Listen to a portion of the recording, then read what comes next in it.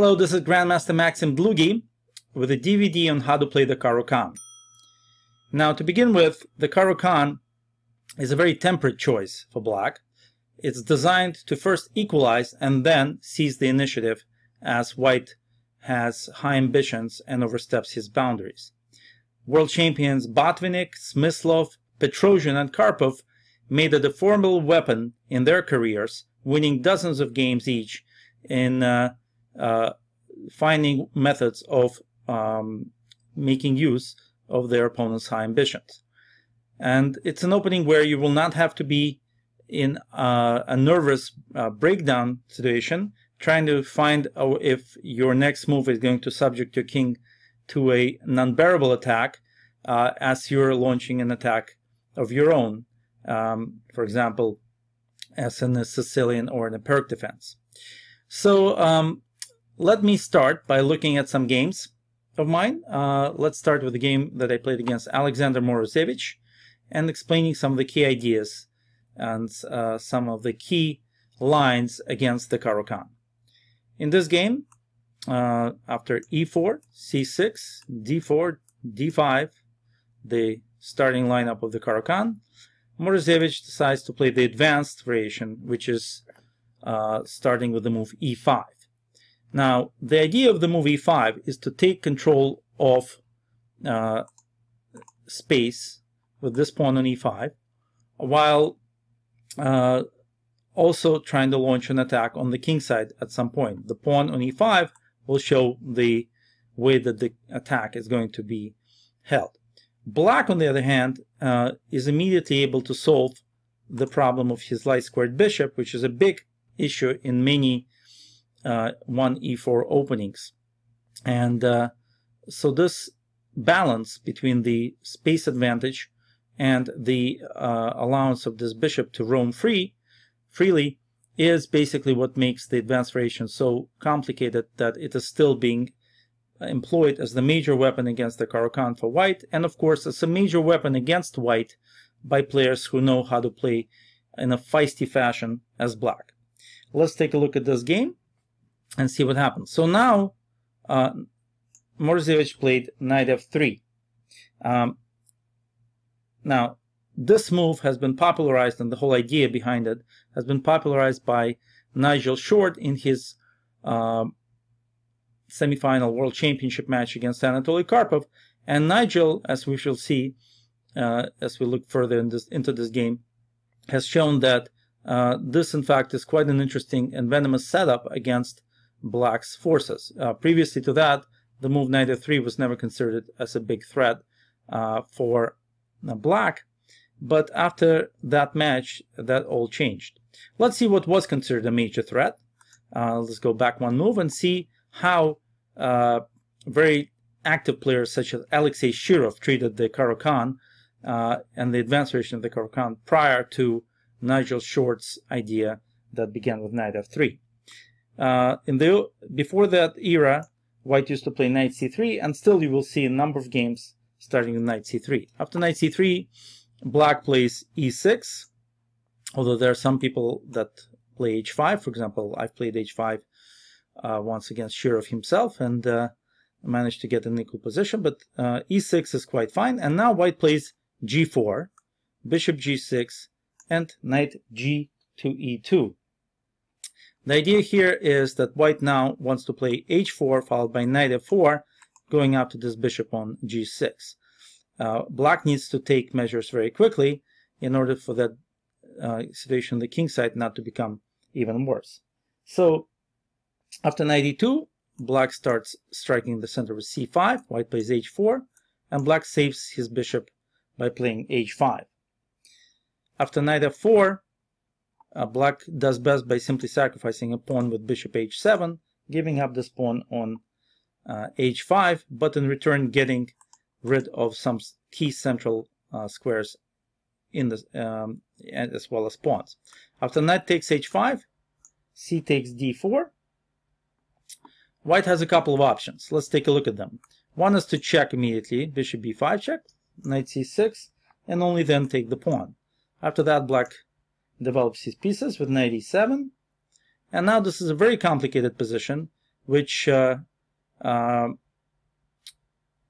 I believe black can hold and uh, hold his own and get a good game. Uh, one of the most complicated lines begins with bishop h6. The idea is clearly that after knight takes, a pawn takes bishop, white simply mates. But of course, taking is not uh, obligatory in chess. Black would do best to just get rid of the spin with a6. And after a6, bishop takes g7, threatening knight f6 mate. Bishop takes g7, knight takes g7, king f8, uh, knight takes e6, f takes e6, queen f4 check, king e8, and after bishop takes knight, knight takes bishop. Actually, black is fine, even though white has, it seems, ample compensation for the pawn. But in fact, that's not so clear, because pretty soon black will develop his forces and has a very good position to fight on. So that's one very complicated line, just to take a look at uh, so that uh, we know what can happen. So after uh, after uh, queen takes d4 97, white's other option is to play bishop g5. Uh, and then again black plays a6, uh, forcing bishop takes knight. Knight takes c6.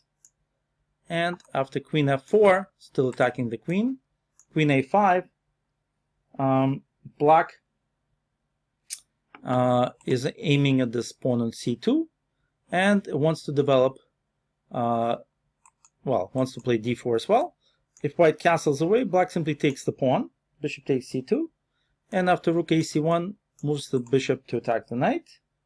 Uh, knight g3, knight b4, eyeing the d3 square, h5, bishop h7 for now, and after rook fd1, knight d3, rook takes knight, bishop takes rook, uh, black has once again um, a great position. So um, not so easy for white to simply break through by the power of his uh, break through by the power of his will. Um, the other possibility is uh, to instead of bishop b5 check is to take immediately on d4, but after knight c6, if the queen decides to be the one that's pinning the knight, Black simply gets rid of the spin by playing a6, and after bishop g5, even a move like b5 is quite good, hitting the queen first, and after queen f4, queen c7, we can see that the e5 pawn is not going to be saved. After bishop g2, queen takes pawn, and the subsequent exchanges, let's say castles, um, rook c8, threatening b4, rook h1 and f6 black once again has a very nice position threatening all kinds of things. And um, uh, in general I don't think that this position presents any danger for the second player. Going back to our game uh, so now we see that knight c3 is not such a dangerous idea after all black just needs to sacrifice the pawn on h5 and he'll be fine because he's going to ruin white's center. So, anyway, Alexander Morozevich played knight f3, and I played e6.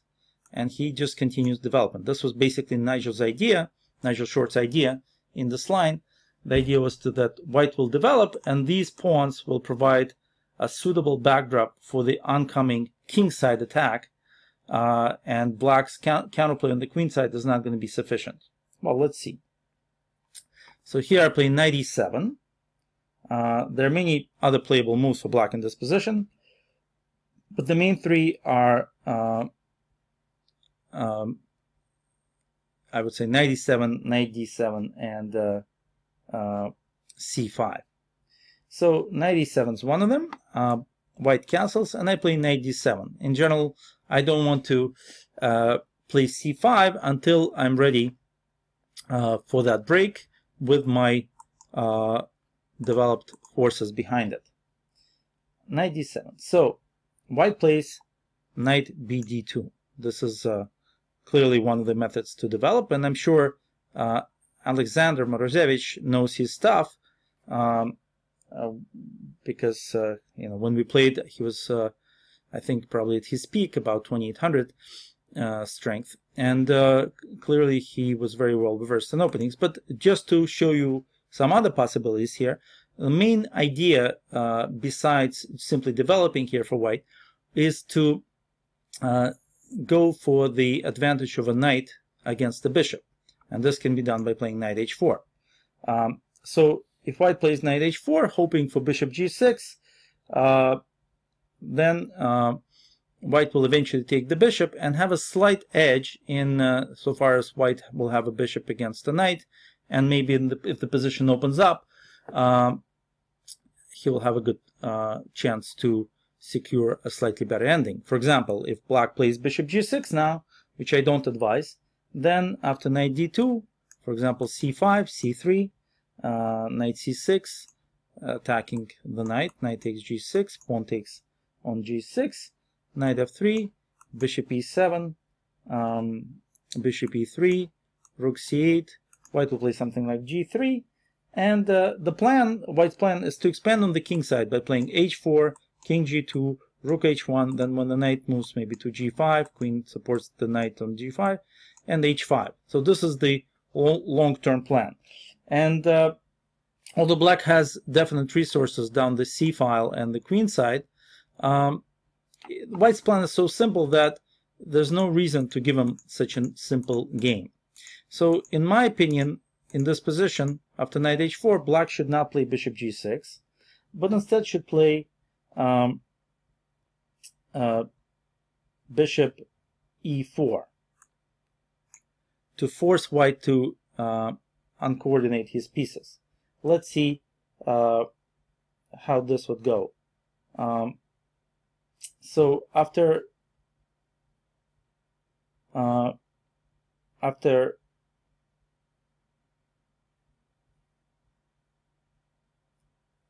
knight d2 attacking the bishop black breaks through with c5 and now we have a very interesting and complicated line. So first of all what happens if white simply takes the bishop? Well we take it back um, and after now the knight is threatened because the knight can is actually really threatened because black is threatening knight c6 hitting the knight and then bishop e7 hitting it again. So white actually has to make this prophylactic move g3 at this point and then um, black attacks the pawn on d4, hoping that white will take on c5. White holds it on. And then we attack again with knight c6. And now we have a, an interesting situation where um, um, either white will play bishop e3 or pawn takes pawn. If white tries to hold the pawn on d4 with bishop e3, then we add some more uh, juice to this d4 situation by attacking with the rook. Now knight takes knight takes e5 is threatened. And you can see that white's really getting out of this with only moves. Queen a4, now bishop e7, hitting the knight. Uh, and white can't really afford to uh, defend the knight because the pawn on b2 is going to go as well. So he has to play rook a b1. Um, and after pawn takes pawn, pawn takes pawn, queen b4, black gets a very reasonable ending. Uh, queen takes b4, knight takes b4. Now, of course, the knight has to run. Knight g2, uh, castles, rook c1, knight d5, for example. And um, after knight f4, knight b6, uh, knight d5, knight d5, we can see that black's knight is certainly not worse than any of these bishops. So black should have a fine position here. And uh, if white a little earlier uh, decides to take on c5 instead, um, after rook d8, let's take a look. So after rook d8, um, uh, or maybe even a, a, a, little earlier here, if white takes on uh, okay so c3 knight c6 yeah and now uh, after pawn takes pawn, this was also played in some games. Um, uh, knight takes c5. Black is already aiming for this d3 square. Let's say b4. And knight d3. Of course, if bishop takes knight, we simply play rook d8. We don't take on d3, God forbid. Um, and so uh, white can play something like bishop e3, we hit the pawn on c7. Uh, f4 is a cool move because actually taking en passant would lose our knight. We simply castle queenside, uh, holding on to our beautiful knight on d3. And uh, uh, after queen a4, a6, b5, knight c5, uh, exchanging here, and king h1. Uh, black takes on b5, white takes on e4, and we play uh, g5, uh, hitting this knight, and after takes, queen takes pawn, queen takes queen, knight takes, bishop takes pawn, rook g8. Um, we have uh, full compensation for our pawn, uh, even though this position is very difficult for white to actually achieve, uh, because I'm sure black could play uh, somewhat differently earlier. But the opposite color bishops and the very active positions of our rooks uh, leads me to believe that this position is roughly equal. For example, after knight f3, uh, we don't have to trade, we just play knight g4, and after rook b1, h6 takes, knight takes h6, or even rook h8 to get our uh, rook on the h file, h4, uh, rook takes h6, knight d4, f5, and we can see that all our pieces are dominating, and although um, white is definitely, well, it's probably not worse yet, it's actually difficult, more difficult to play for white here than for black, because black is already threatening to win back the material, and all the pawns on the colors uh, that uh, black prefers. So this line, uh, although quite forced in nature, it just goes to show you that black has ample counterplaying possibilities here um, in the um, after bishop e4 uh, knight uh, d2 c5 uh, now after c5 white can also do something else let's take a look at this other line uh, that I uh, wanted you to uh, to learn um, so besides taking immediately on on e4 white could play a preparation of g3. This move will become useful anyway and the bishop isn't running anywhere. If black takes on d4, white will take both on e4 and d4 and we'll get a good position. So black needs to protect the d4 pawn first by playing queen b6 here. And then uh, the lines are quite similar here. Um, after g3, queen b6, pawn takes pawn, knight takes c5, uh, knight takes e4, we still take with the d pawn because it's very important to control this knight and not let it return to any good position. Uh, and after bishop e3, we, our knight is coming to d5, bishop d4, again, key idea, castling queenside here. And uh, again, black uh, has quite a good game after a3, queen c7, um, stopping b4. Um, queen c1, getting rid of the annoying uh, skewer on the d file, knight e7. The knight repositions himself and hits the bishop.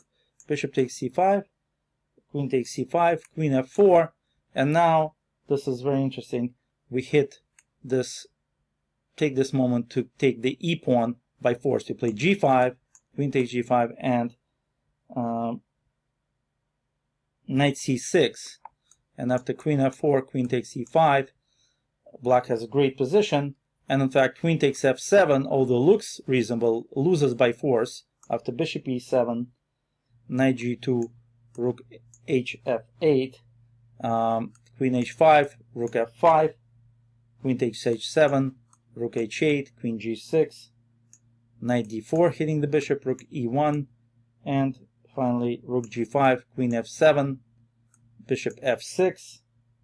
We're slowly trapping the queen. If you didn't notice, 93 and rook g7. And voila, the queen is finally trapped. It's a seven move combination that the engines see much better than humans. But it's clear that uh, taking on a seven looks dangerous. And uh, a strong grandmaster could probably calculate this out even on his own uh, on his own uh, account.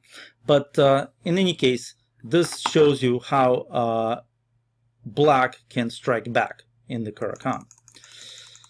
If we go back to our key line, we'll see that Alexander Morozevich knew something more about this maybe than um, than he showed, and he played knight bd2 instead of playing knight h4, allowing this feisty idea of bishop e4. And um, after knight bd2, um, I played uh, knight g6. Now, uh, besides this, black has uh, many other ideas, and very recently, uh, a very strong grandmaster played h6 followed by g5 and knight g6 to secure a strong initiative against white. And this is always an interesting plan. And take a look at it. Uh, I'm showing the plan that I used just because uh, it's very much in the spirit of the uh, of this variation. I played knight g6, and uh, uh, I'm aiming for a quick f6, uh, trying to complicate the position and get aggressive against white setup. So I'm not allowing white to simply uh, slowly build up pressure on the king side with g3 and h4 because I want to very quickly strike in the center. Um, Alexander plays knight b3 and uh, okay here there are a lot of alternatives to black. I could play h h5 for now just uh, uh, holding off white's kingside aggression but I decided to play f6. Quite dangerous, in my opinion, um, in terms of opening theory, but uh, it will show you the chances uh, and the things to avoid for both sides. So after f6, uh, it's actually very hard to find the best continuation for white, especially um, in a blitz game. And here, uh, white played rook e1. Instead, um, the most testing continuation here after f6 is to play knight e1, threatening to win this bishop by simply attacking it with the pawns.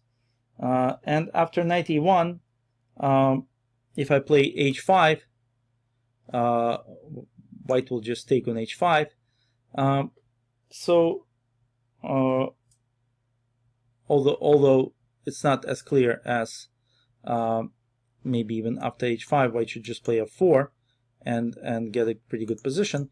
But otherwise, I would have to basically start sacrificing. So after f takes e5, g4, e4, pawn takes bishop, pawn takes pawn.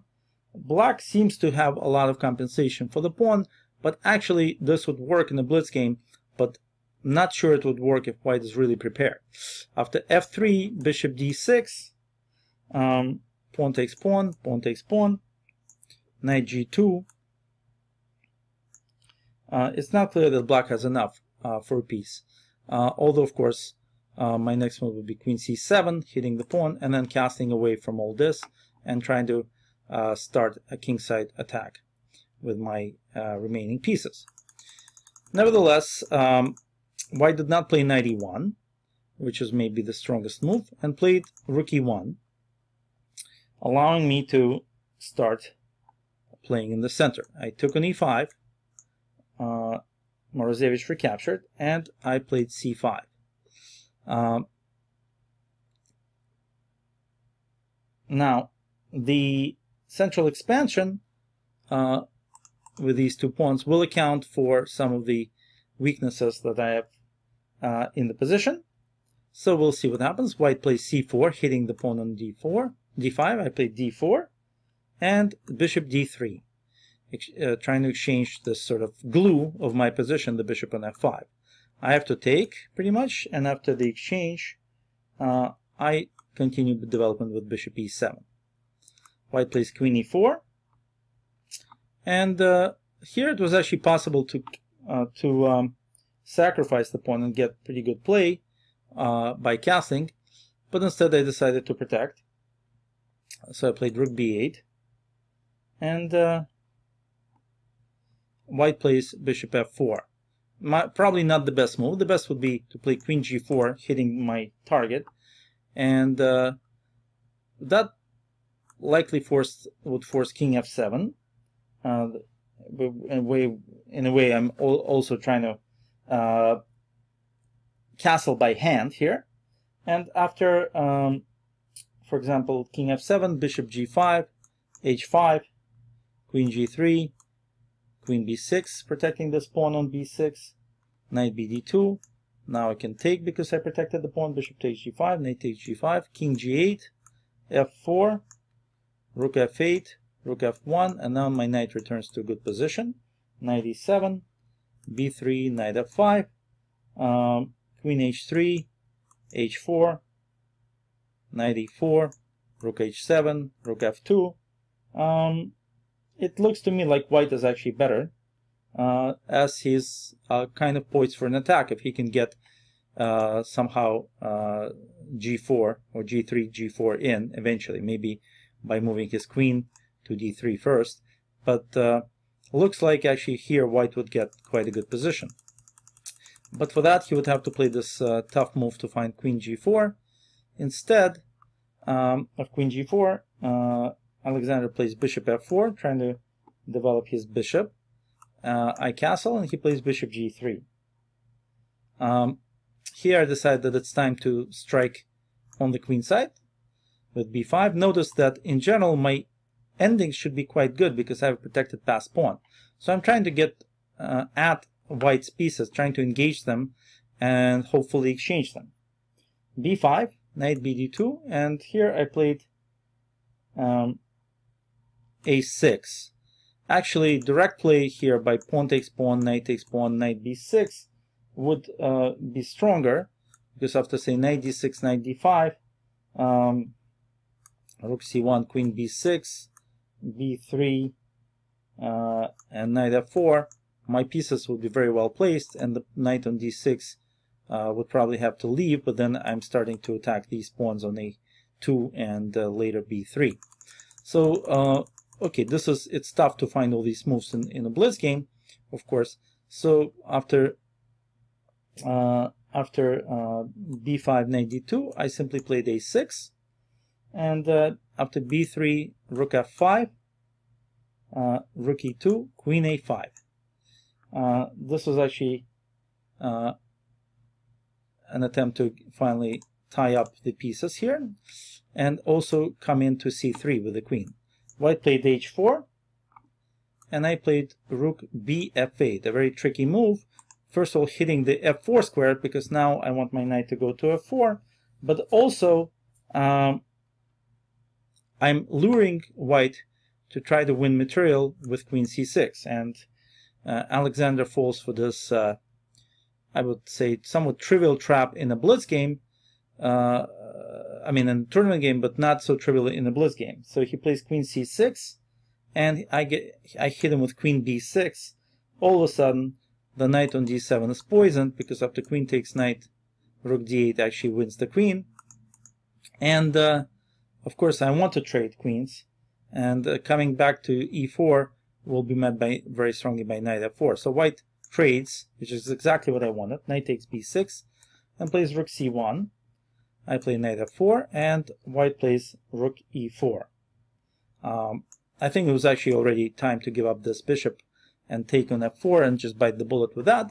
But um, he played rook e4 and now my knight gets to another very strong square, knight d3 and rook b1 and uh, uh, now I played this move h5 um,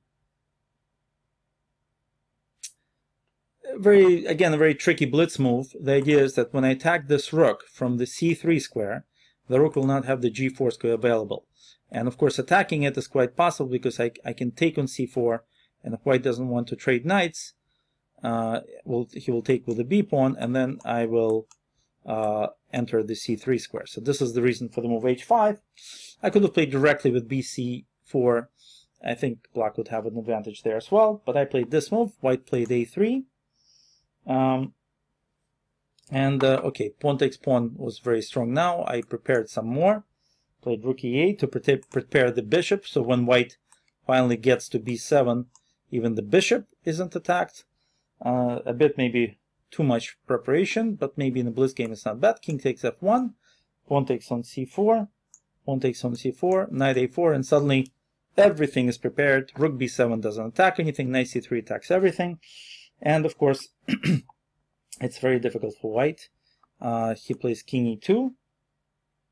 Um, and I play knight db2, uh, stopping the knight from uh, the rook from moving, and also, of course, threatening the inevitable knight c3, king f1, rook b8, supporting the knight so I can play knight c3, rook e1, finally the threat comes in, knight c3, and uh, of course the knights are roaming wild, knight d3 is next, picking up the rook, and uh, so Morozevich decides to sacrifice the exchange, plays knight e4, um, knight takes rook, rook takes knight, I pr protect my rook, rook f f8, knight fd2, and simply snatch off this pawn on c4. Another beauty. Continuing the carnage here, rook c1. Okay, here are many ways to win the game. Uh, it's a blitz game and I don't have that much time. We're in the three dozen seconds or so mode now. Uh, knight takes d2, knight takes d2, rook b2, knight d4, and here I'll just give the rest of the moves uh, to uh, show you that I indeed did win this game, no matter the strength of my illustrious opponent. Um, bishop d2 and a5, and bishop g5, and just king f7, knight d6, we exchanged here. I stopped this pawn from moving. Rook b1, king d7, bishop f4, king c6, bishop e5, rook d8, bishop g7, rook d6. Okay. Um, I'm not sure if we need to look at the rest of the moves, but basically, um, eventually I won and had still five seconds to spare in this uh, complicated game. But I hope you saw the idea here was that um, I was able to take control of the position. The pawn on d4 provided me with a um, anchor to go into endgames that were always would always be better for me. And when I trapped, uh, in a way, trapped uh, my opponent's queen and forced him to exchange, that gave me the huge advantage that you saw uh, how I was able to use. Now, going forward, the advanced variation is a very serious attempt by white to uh, get an advantage for uh, against the Caro-Kann, and so do follow modern theory in it. Uh, there are games played in almost every tournament uh, with the advanced variation, and the games are extremely complicated. I try to shun away from the major lines, and this is what creates problems for my opponents, even those rated above 2780, I would say, because it's very hard to remember everything, and some of these lines uh, will give you uh, a lot of chances, even if maybe best play will uh, knock you out every so often. Uh, so, as you can see, uh, this line is absolutely playable uh, for black. Hi, this is Grandmaster Damian Lemos. First of all, I hope you enjoyed um, this video. If you would like to receive more free chess videos from us, you can just click the subscribe button below. I would also highly recommend signing up for my free mail course, The 10 Grandmaster Secrets to Dominate Chess. During this exclusive course from onlinechesslessons.net, I'll share with you my own Grandmaster shortcuts to effective attacking, defending, and growth hacks to improving your chess without um, complicated books or memorization. So sign up by clicking the sidebar on the right and I know you won't be disappointed. Once more, this is Damian uh, for onlinechesslessons.net and I'll see you um, in my videos. Thank you.